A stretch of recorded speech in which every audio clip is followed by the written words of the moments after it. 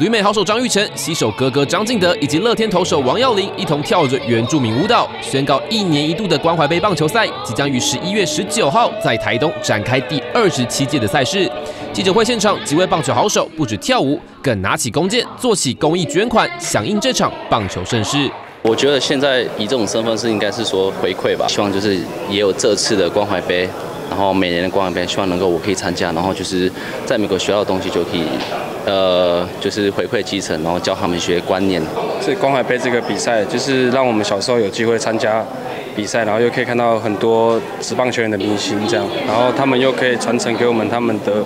球场上的经验啊，让我们更想就是圆梦这样子，就是希望以后可以打职棒，或是旅美、旅外这样子。作为台湾历史最悠久的基层赛事之一，现场三位球员都曾在国小、国中时打过关怀杯。而除了张家兄弟今年是首度以讲师身份回归之外，已经当爸的王耀林更是从二零一六年开始，连续四年不曾缺席。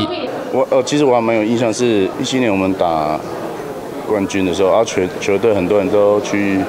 就是员工旅游嘛，然后我跟阿飞林晨飞，就是选择去花莲关海杯，然后我觉得这个才是我们能要的员工旅游回馈，其实是当下是你最放松的时时刻，然后你会去每年去找回就是那种童真感觉，一整年的呃压力或者是不愉快，就是看到小朋友的时候，真的会一切。